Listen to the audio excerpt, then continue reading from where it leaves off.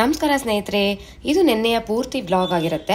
ನಿನ್ನೆ ಯಾವುದೇ ವಿಡಿಯೋನೂ ಅಪ್ಲೋಡ್ ಮಾಡಿರಲಿಲ್ಲ. ನಾನು ಹಳೆ ವಿಡಿಯೋಲಿ ಹೇಳಿದ್ದೆ ಹೆಲ್ತ್ ಸ್ವಲ್ಪ ಅಪ್ಸೆಟ್ ಆಗಿದೆ ಅಂತ. ಅದಕ್ಕೋಸ್ಕರ ನಿನ್ನೆ ರೆಕಾರ್ಡ್ ಮಾಡೋಕ್ಕಾಗಲಿಲ್ಲ ಬಟ್ ಚಿಕ್ಕ ಚಿಕ್ಕ ಕ್ಲಿಪ್ಸು ಆಗಾಗ ಶೂಟ್ ಮಾಡ್ಕೊಳ್ಳೋಕ್ಕೆ ಟ್ರೈ ಮಾಡಿ ಈ ಲಾಗ್ನ ಪ್ರಿಪೇರ್ ಮಾಡ್ತಾ ಇದ್ದೀನಿ. ಸುಮಾರು ಕೆಲಸ ನಮ್ಮ ಯಜಮಾನ್ರೆ ನೋಡಿಕೊಂಡ್ರು. ನಿನ್ನೆ ಬೆಳಗ್ಗೆ ಅವನಿಗೆ ತಿನ್ನಿಸೋದು ಎಲ್ಲನೂ. ಸೊ ಫೈನಲಿ ಹಾಸ್ಪಿಟ್ಲ್ಗೆ ಕರ್ಕೊಂಡೆ ಹೋದರು. ನಾನು ಬೇಡ ಬೇಡ ಅಂತ ಒನ್ ಡೇ ಫುಲ್ ಡಿಲೇ ಮಾಡಿ ಮನೆಯಲ್ಲೇ ಟ್ಯಾಬ್ಲೆಟ್ಸ್ ತಗೊಂಡೆ ಬಟ್ ಹುಷಾರಾಗಲಿಲ್ಲ. ತುಂಬ ಮೈಕೈ ನೋವು ಫೀವರಿಶ್ ಇದ್ದಿದ್ದರಿಂದ ಹಾಸ್ಪಿಟ್ಲ್ಗೆ ಕರ್ಕೊಂಡೇ ಹೋದ್ರು ಅವರು ಏನಾದರೂ ಮಾಡಿದ್ರು ಒಂದ್ಸಲ ಹಾಸ್ಪಿಟ್ಲ್ ವಿಸಿಟ್ ಮಾಡಲೇಬೇಕಲ್ವಾ? ಈ ಇಂಗ್ಲೀಷ್ ಮೆಡಿಸಿನ್ಸು ಬಾಡಿಗೆ ಬಿದ್ದರೇ ಅದು ಕಂಪ್ಲೀಟಾಗಿ ಕ್ಯೂರ್ ಆಗೋದು. ನಾನು ಒಂದಿನ ಫುಲ್ಲು ಮನೆಯಲ್ಲೇ ಮದ್ದನ್ನು ತಗೊಂಡು ಎಷ್ಟು ಟ್ರೈ ಮಾಡಿದ್ರೂ ಆಗಲೇ ಇಲ್ಲ. ತುಂಬ ಸುಸ್ತಾಗೋಗಿದೆ. ಸೊ ಅವರು ಕೇಳಲಿಲ್ಲ, ಇಲ್ಲ ಹಾಸ್ಪಿಟ್ಲ್ಗೆ ಹೋಗಲೇಬೇಕು, ಬಾ ನೀನು ಅಂತ ಕರ್ಕೊಂಡೋದ್ರು. ಸೊ ಅಲ್ಲಿ ವೆಯ್ಟ್ ಮಾಡಿ ಟ್ರೀಟ್ಮೆಂಟ್ ತೊಗೊಂಡು ಬಂದೆ. ಒಂದಷ್ಟು ಮಾತ್ರೆ ಕೊಟ್ಟರು ಒಂದು ಇಂಜೆಕ್ಷನ್ ಕೊಟ್ಟರು ಸೊ ಸ್ವಲ್ಪ ಬೆಟರ್ ಅನ್ನಿಸ್ತು. ನೆನ್ನೆಗಿಂತೂ ಇವತ್ತು ಬೆಟರ್ ಆಗಿದ್ದೀನಿ. ವಾಯ್ಸು ನೋಡ್ಬೋದು ನೀವು. ಒಂಥರ ಇದೆ. So please bear with it ಈಗ ಸ್ವಲ್ಪ ಹುಷಾರಾಗಿದ್ದೀನಿ. ಮನೆಗೆ ಬಂದಿದ ತಕ್ಷಣ ಡಾಕ್ಟ್ರ್ ಹೇಳಿದ್ರು, ಸ್ವಲ್ಪ ಹೈಡ್ರೇಟ್ ಆಗಿ ಇಟ್ಕೊಳ್ಳಿ ಬಾಡಿನ, ಬಿಸಿಲು ಕಾಲ ಹೀಟಿಗೆ ಆಗಿರ್ಬೋದು ಅಂತ. ಮನೆಗೆ ಬಂದೆ, ಪೈನಾಪಲ್ಲು, ಆಪಲ್ಲು, ಫ್ರೂಟ್ಸ್ ಎಲ್ಲ ಇತ್ತು, ಸೊ ಸ್ವಲ್ಪ ಜ್ಯೂಸ್ ಮಾಡ್ಕೊಂಡು ಕುಡಿಯೋಣ ಅಂತ. ಆ್ಯಪಲ್ ಪೈನಾಪಲ್ಲು, ಮತ್ತು ಕಪ್ ದ್ರಾಕ್ಷಿ, ಸಕ್ಕರೆ ಸ್ವಲ್ಪ ನೀರು ಹಾಕಿ ಜ್ಯೂಸ್ ಮಾಡಿಕೊಂಡೆ. ಕೋಲ್ಡ್ ಏನು ಕುಡಿಲಿಲ್ಲ, ಕೋಲ್ಡ್ ಇದ್ದಿದ್ದರಿಂದ ಐಸ್ ಕ್ಯೂಬ್ಸು ಯಾವುದೇ ರೀತಿ ಕೋಲ್ಡ್ ಸೇರಿಸ್ಕೊಳ್ಳಿಲ್ಲ. ಫ್ರೆಶ್ ಫ್ರೂಟ್ ಜ್ಯೂಸ್ ಹಾಗೆ ಕುಡಿದೆ. ಫ್ರೂಟ್ಸೇ ತಿನ್ಬೋದು ಅಂತ ಕೆಲವರು ಕಮೆಂಟ್ ಮಾಡ್ಬೋದು. ಆ್ಯಕ್ಚುಲಿ ಫ್ರೂಟ್ಸ್ ತಿಂದ್ರೇ ಒಳ್ಳೆಯದು ಜ್ಯೂಸಸ್ಗಿಂತೂ. ಫೈಬರೂ ನಮ್ಮ ಬಾಡಿಗೆ ಸರಿಯಾಗಿ ಸೇರುತ್ತೆ. ಬಟ್ ನಿನ್ನೆ ನನಗೆ ಏನು ತಿಂದರೂ ಕಹಿ ಕಹಿ ಅನ್ನಿಸ್ತಾ ಇತ್ತು. ಬಾಯಿ ಸರಿ ಇರಲಿಲ್ಲ. ಜ್ಯೂಸ್ ಆದರೆ ಕುಡಿದ್ಬಿಡ್ಬೋದು ಬೇಗ ಅಂತ ಈ ಥರ ಜ್ಯೂಸೇ ಮಾಡಿಕೊಂಡು ಕುಡಿದೆ. ನಾವು ಯಾವುದೇ ರೊಟೀನ್ನ ಫಾಲೋ ಆದ್ರೂ ಈ ಮೈ ಏನಾದರೂ ಕೆಟ್ಬಿಟ್ರೆ ಹೆಲ್ತ್ ಅಪ್ಸೆಟ್ ಆಗಿಬಿಟ್ರೆ, ಅದು ಫುಲ್ಲು ರಿವರ್ಸ್ ಆಗೋಗುತ್ತೆ ಎದ್ವಾ ತದ್ವಾ ಆಗೋಗುತ್ತೆ. ಏನು ಮಾಡೋಕ್ಕಾಗಲ್ಲ ಒಂದೊಂದು ಸಲ ಹಂಗಾದಾಗ ಅದಕ್ಕೆ ಅಡ್ಜಸ್ಟ್ ಆಗಬೇಕು. ಅಮ್ಮ ಏನೋ ಕೇಳಿದ್ರು ಫೋನಲ್ಲಿ ಬಂತೀನಿ ಬರ್ತೀನಿ ಮಕ್ಕಳು ನೋಡ್ಕೊತೀನಿ ಅಂತ. ಅವ್ರಿಗಲ್ಲಿ ಅವ್ರದ್ದೇ ಆದಂತಹ ಕೆಲಸ ಇರುತ್ತೆ ಅಂತ, ಏನು ಬೇಡ, ನಾನು ಮ್ಯಾನೇಜ್ ಮಾಡ್ಕೊಳ್ಬಹುದು ಅಂತ ಬೇಡ ಅಂತ ಹೇಳಿದೆ. ಸೊ ಈ ಥರ ಫ್ರೂಟ್ ಜ್ಯೂಸ್ ಮಾಡಿ, ನಾನು ಕುಡ್ದೆ ಮಕ್ಕಳಿಗೆ ಕೊಟ್ಟೆ ಹಸ್ಬೆಂಡು ಜ್ಯೂಸ್ ಕುಡ್ಕೊಂಡು, ಪಾಪ ಲೇಟಾಗಿ ಆಫೀಸಿಂದ ಆಫೀಸ್ಗೆ ಹೋದರು, ಎಲ್ಲ ಕೆಲಸ ಮುಗಿಸ್ಕೊಂಡು ಮನೆಯಲ್ಲಿ.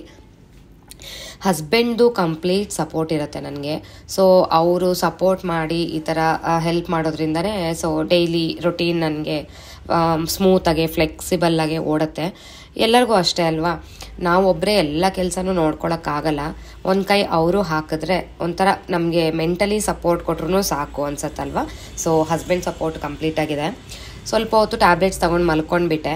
ಮತ್ತು ಒಂದು ಗಂಟೆ ಸುಮಾರು ಎದ್ದು ಅನ್ನಕ್ಕಿಟ್ಟೆ. ರೈಸ್ ಕುಕ್ಕರಲ್ಲಿ ಆಗಿರೋದ್ರಿಂದ ಅಕ್ಕಿ ತೊಳೆದಿಟ್ಟು ಮತ್ತೆ ಮಲ್ಕೋಬೋದು ಅಂತ ತೊಳೆದಿಟ್ಟೆ. ಪಲ್ಯ ಸ್ವಲ್ಪ ಮಾಡ್ಕೊಳ್ಳೋಣ ಅಂತ ಕ್ಯಾರೆಟ್ ಕಾಣಿಸ್ತು ಫ್ರಿಜ್ಜಲ್ಲಿ ಸೊ ಕ್ಯಾರೆಟ್ನ ಈ ಥರ ಸಣ್ಣಗೆ ಹೆಚ್ಕೊಂಡು ಅದನ್ನು ಸ್ಟೀಮ್ಗೆ ಇಟ್ಬಿಡೋಣ ರೈಸ್ ಕುಕ್ಕರಲ್ಲಿ ಅಂತ ಅದನ್ನು ತಯಾರು ಮಾಡಿದೆ. ಏನಾದರೂ ರಸಮ್ ಮಾಡ್ಕೊಳ್ಳೋಣ ಅಂತ ಪ್ಲ್ಯಾನ್ ಇತ್ತು ಬಟ್ ರಸಮ್ ಮಾಡ್ಕೊಂಡ್ರೆ ಮಕ್ಕಳಿಗೆ ನ್ಯೂಟ್ರಿಷನ್ ಯಾವ ರೀತಿಯೂ ಸೇರಲ್ಲ. ಅವರು ಹಾಕ್ಕೊಳ್ಳೋ ಅಂತ ಒಂದು ಸೌಟ್ ರಸಮ್ಗೆ ಏನು ನೀರು ನೀರಾಗಿರುತ್ತೆ. ಅದಕ್ಕೋಸ್ಕರ ಸ್ವಲ್ಪ ಪಲ್ಯ ಮಾಡಿದ್ರೆ ಆದರೂ ಅವ್ರಿಗೆ ಸೇರುತ್ತೆ ಅಂತ ಪಲ್ಯಕ್ಕೆ ಇಟ್ಟೆ. ಮತ್ತೆ ಮಲ್ಕೊಳ್ಳೋಣ ಅಂತ ಬಂದರೆ ನಿದ್ದೆ ಬರಲೇ ಇಲ್ಲ ಒದ್ಲಾಡ್ತಾ ಇದ್ದೆ. ಚಿಕ್ಕವನ್ನ ಮಲಗಿಸ್ಬಿಟ್ಟೆ ಜೋಲಿಲಿ. ಮತ್ತು ದೊಡ್ಡವನು ಟಿ ವಿ ನೋಡ್ತಾ ಇದ್ದ ಟಿ ವಿ ಆಫ್ ಮಾಡಿ ಯಾವ್ದಾದ್ರು ಗೇಮ್ ಎತ್ಕೊಂಡು ಬಾ, ಆಟ ಆಡೋಣ ಅಂತ ಟೈಮ್ ಪಾಸ್ ಆಗುತ್ತೆ ಅಂತ ಹೇಳಿದೆ.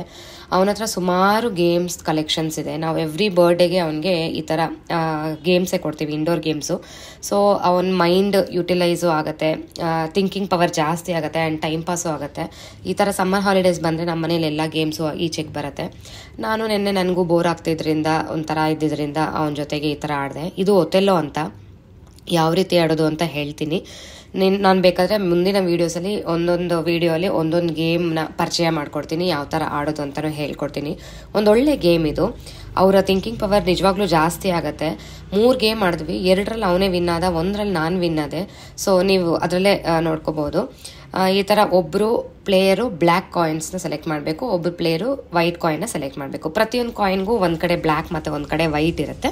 ಒಂದೊಂದು ಕಾಯಿನು ಒಂದೊಂದು ಪ್ಲೇಯರು ಆಲ್ಟರ್ನೇಟಾಗಿ ಇಟ್ಕೊಂಡು ಹೋಗಬೇಕು. ಈಗ ನಾವು ಕಾಯಿನ್ ಇಟ್ಟರೆ ಯಾವುದಾದ್ರೂ ಕಾಯಿನ್ನು ಅದು ಇನ್ನೊಂದು ಕಡೆನೂ ಆಪೋಸಿಟ್ ಅಪೋನೆಂಟ್ದು ಬ್ಲಾಕ್ ಮಾಡಿದ್ರೆ ಮಿಡ್ಲಲ್ಲಿರೋ ಕಾಯಿನ್ಸ್ ಎಲ್ಲ ನಮ್ದಾಗತ್ತೆ ಸೊ ತಿರುಗಿಸ್ಕೊಳ್ಬೋದು. ನಿಮಗೆ ನೀಟಾಗಿ ತೋರಿಸ್ತೀನಿ ರೀ. ನೆಕ್ಸ್ಟ್ ಇಡೋದ್ರಲ್ಲೇ. ಅರ್ಥ ಆಯಿತು ಅಂತ ಭಾವಿಸ್ತಾ ಇದ್ದೀನಿ. ಇವಾಗ ನಂದು ವೈಟ್ ಅಲ್ವಾ? ವೈಟ್ ಇಲ್ಲಿ ಇಡ್ತಾ ಇದ್ದೀನಿ. ಆ ಕಡೆ ಡಯಾಗ್ನಲ್ ವೈಟ್ ಇದೆ. ಮಧ್ಯದಲ್ಲಿ ಬ್ಲ್ಯಾಕ್ ಒಂದು ಬ್ಲಾಕ್ ಆಗಿದೆ. ಸೊ ಆ ಬ್ಲ್ಯಾಕ್ನ ವೈಟ್ ಮಾಡಿದೆ. ಅಂದರೆ ತಿರುಗಿಸ್ಬಿಟ್ಟೆ. ಸೊ ಅದೇ ರೀತಿ ಆಡ್ಕೊಂಡು ಹೋಗೋದು. ಲಾಸ್ಟ್ ಗೇಮ್ ಮುಗಿದ ಮೇಲೆ ಬೋರ್ಡ್ ಮೇಲೆ ಯಾರ್ದು ಕಾಯಿನ್ಸ್ ಜಾಸ್ತಿ ಇದೆಯೋ, ಅವರು ವಿನ್ ಆದಂಗೆ. ಅಂದರೆ ಈಗ ನನ್ನ ಮಗ ಬ್ಲ್ಯಾಕ್ ಆಫ್ ಮಾಡ್ಕೊಂಡಿದ್ದಾನೆ. ಗೇಮ್ ಆದಮೇಲೆ ಬೋರ್ಡ್ ಮೇಲೆ ಬ್ಲ್ಯಾಕ್ ಕಾಯಿನ್ಸ್ ಜಾಸ್ತಿ ಇದ್ದರೆ ಅವ್ನು ವಿನ್ನು ವೈಟ್ ಕಾಯಿನ್ಸ್ ಜಾಸ್ತಿ ಇದ್ದರೆ ನಾನು ವಿನ್ನು ಸೊ ನಾನು ಅದೇ ನಿಮಗೆ ತೋರಿಸೋಣ ಅಂತ ವಿಡಿಯೋ ಮಾಡ್ಕೊಂಡು ಗೇಮ್ ಆಡಿದೆ. ಲಾಸ್ಟಲ್ಲಿ ಅವನೇ ವಿನ್ ಅದ ನೋಡ್ಬೋದು ನೀವು ಬೋರ್ಡ್ ಮೇಲೆ ಎಷ್ಟು ಬ್ಲ್ಯಾಕ್ ಕಾಯಿನ್ಸ್ ಇದೆ ಆ್ಯಂಡ್ ಎಷ್ಟೇ ಎಷ್ಟು ವೈಟ್ ಕಾಯಿನ್ಸ್ ಇದೆ ಅಂತ. ಸೊ ಇದಾಗಿತ್ತು ಗೇಮು ನಿಮಗೆ ಆನ್ಲೈನಲ್ಲಿ ಸಿಗುತ್ತೆ ಇದು. ಇದ್ರದ್ದು ಲಿಂಕ್ ಬೇಕಾದರೆ ನಾನು ಡಿಸ್ಕ್ರಿಪ್ಷನ್ ಬಾಕ್ಸಲ್ಲಿ ಕೊಡ್ತೀನಿ. ನೀವು ಅದನ್ನು ಆರ್ಡರ್ ಮಾಡ್ಕೋಬೋದು. ತುಂಬ ಚೆನ್ನಾಗಿದೆ ಗೇಮ್ ಅಂತ ಹೇಳ್ಬೋದು. ಮತ್ತು ರಸಮ್ ಮಾಡೋಣ ಅಂತ ಹಸಿ ಮಾವಿನಕಾಯಿನ ಈ ಥರ ಸ್ಲೈಸಸ್ ಆಗಿ ಕಟ್ ಮಾಡಿ ಕುಕ್ಕರಲ್ಲಿ ಹಾಕಿದ್ದೀನಿ. ಖಾರಕ್ಕೆ ಒಂದು ಮೂರು ಮೆಣಸಿನ್ಕಾಯಿ ಹಾಕಿ, ನೀರು ಹಾಕಿ ಅದನ್ನು ಮೆತ್ತಗೆ ಬೇಯಿಸ್ಕೊತೀನಿ.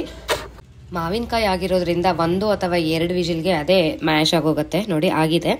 ಬಟ್ ಇನ್ನೊಂದು ಸ್ಟಿರರ್ ತಗೊಂಡು ಅಥವಾ ಈ ಥರ ಮಜ್ಜಿಗೆ ಚಿಲ್ಕೋದಿರತ್ತಲ್ಲ, ಅದನ್ನು ತಗೊಂಡು ಇನ್ನೊಂದು ಥರ ಇನ್ನೊಂದು ಸಲ ಮ್ಯಾಶ್ ಮಾಡಿ ಈ ಹಸಿಮೆಣ್ಸಿನ್ಕಾಯಿ ಕೂಡ ಸ್ವಲ್ಪ ಸ್ಪ್ಲಿಟ್ ಆಗಿ ಅದ್ರದ್ದು ಖಾರ ಬಿಟ್ಕೊಳ್ಳಿ ಅಂತ. ಇದು ಹಸಿ ಗೊಜ್ಜು, ಮತ್ತೆ ಇದನ್ನ ಬಾಯ್ಲ್ ಮಾಡೋ ಅವಶ್ಯಕತೆ ಇರಲ್ಲ. ಯೂಶಲಿ ಹುಣಸೆ ಹಣ್ಣಲ್ಲಿ ಹಸಿ ಗೊಜ್ಜು ಕೇಳಿರ್ತೀರ. ಸೀಸನ್ ಆಗಿರೋದ್ರಿಂದ ಮಾವಿನಕಾಯಲ್ಲೂ ಈ ಥರ ಮಾಡ್ಕೋಬಹುದು ಈಗ ಇದಕ್ಕೆ ಸ್ವಲ್ಪ ಬೆಲ್ಲ ಆ್ಯಡ್ ಮಾಡ್ತಾ ಇದ್ದೀನಿ. ಕಾಯಿ ತುಂಬ ಹುಳಿ ಇತ್ತು ಅಂತ ಹೇಳಿ. ನೀವು ಬೆಲ್ಲನ ಟೋಟಲಿ ಸ್ಕಿಪ್ ಮಾಡ್ಕೊಳ್ಬಹುದು. ರುಚಿಗೆ ತಕ್ಕಷ್ಟು ಉಪ್ಪು ಸ್ವಲ್ಪ ಹಾಕಿದ್ದೀನಿ. ಇಲ್ಲಿ ಒಂದು ಒಗ್ಗರಣೆ ಮಾಡ್ಕೊಳ್ಳೋಣ. ಇದು ಪಲ್ಯಕ್ಕೂ ಆಗತ್ತೆ, ಮತ್ತೆ ರಸಮ್ಗೂ ಆಗತ್ತೆ ಅಂತ ಎಣ್ಣೆಯಲ್ಲಿ ಸಾಸಿವೆ, ಕರಿಬೇವು, ಹಿಂಗನ್ನ ಸ್ವಲ್ಪ ಹಾಕಿ ಮಿಕ್ಸ್ ಮಾಡಿ. ಇದೇ ಸ್ವಲ್ಪ ಒಗ್ಗರಣೆನ ನಾನು ಆ ರಸಮ್ಗೂ ಸೇರಿಸ್ತಾ ಇದ್ದೀನಿ. ಮಿಕ್ಕಿರೋ ಒಗ್ಗರಣೆಗೆ ನಾವು ಕ್ಯಾರೆಟ್ ಪಲ್ಯ ಮಾಡ್ಕೊಳ್ಳೋಣ. ನೋಡಿ, ಒಗ್ಗರಣೆ ಹಾಕಿದ್ದೀನಿ. ಹಸಿ ಈರುಳ್ಳಿನ ಈ ಥರ ಕ್ಯೂಬ್ಸಾಗಿ ಕಟ್ ಮಾಡಿ ಒಂದು ಹಿಡಿಯಷ್ಟು ಹಾಕ್ಕೊಡ್ಬೋದು ಕೊತ್ತಂಬರಿ ಸೊಪ್ಪು ಸಣ್ಣದಾಗಿ ಕಟ್ ಮಾಡಿ ಅದನ್ನು ಹಾಕ್ಕೋಬೋದು ಎಲ್ಲ ಮಿಕ್ಸ್ ಮಾಡಿದ್ರೆ ನಮಗೆ ಹಸಿ ಮಾವಿನಕಾಯಿ ಗೊಜ್ಜು ರೆಡಿ ಆಗುತ್ತೆ. ಬಿಸಿ ಬಿಸಿ ಅನ್ನಕ್ಕಂತೂ ಇದನ್ನು ಹಾಕ್ಕೊಂಡು ತಿಂತಾ ಇದ್ರೆ ಚೆನ್ನಾಗಿರುತ್ತೆ ಬಾಯಿಗೆ. ನೆನ್ನೆ ನನ್ನ ಬಾಯಿ ಏನು ತಿಂದ್ರೂ ಕಹಿ ಕಹಿ ಅನ್ನಿಸ್ತಾ ಇತ್ತು. ಸೊ ಹುಳಿ ಹುಳಿಯಾಗಿ ಇದು ತುಂಬಾ ಚೆನ್ನಾಗಿತ್ತು ಬಾಯಿಗೆ. ಈ ಕಡೆ ಕ್ಯಾರೆಟ್ ಪಲ್ಯಕ್ಕೆ ಒಂದು ಪೌಡರ್ ಪ್ರಿಪೇರ್ ಮಾಡ್ಕೋಬೇಕು. ಒಣಕೊಬ್ಬರಿ ತುರಿ ಒಂದಷ್ಟು ಕಡಲೆ ಪಪ್ಪು ಮತ್ತು ಇದಕ್ಕೆ ಅಚ್ಕಾರದ ಪುಡಿ ಹಾಕಬೇಕು. ಮತ್ತು ರುಚಿಗೆ ತಕ್ಕಷ್ಟು ಉಪ್ಪು. ನೀವು ಅಚ್ಕಾರದ ಪುಡಿ ಬದಲು ಒಣಮೆಣಸಿನ್ಕಾಯಿ ಕೂಡ ಹಾಕ್ಕೊಂಡು ಪುಡಿ ಮಾಡ್ಕೋಬೋದು. ಇದನ್ನು ಎಷ್ಟು ನುಣ್ಣಗಾಗುತ್ತೋ ಅಷ್ಟು ನುಣ್ಣಗೆ ಪುಡಿ ಮಾಡಿ ಪಕ್ಕದಲ್ಲಿ ಇಟ್ಕೊಳ್ಳಿ. ಈಗಾಗಲೇ ಕ್ಯಾರೆಟು ಸ್ಟೀಮ್ ಆಗಿದೆ ಆ್ಯಂಡ್ ರೈಸ್ ಕುಕ್ಕರ್ ಸಹ ಆಫ್ ಆಗಿದೆ.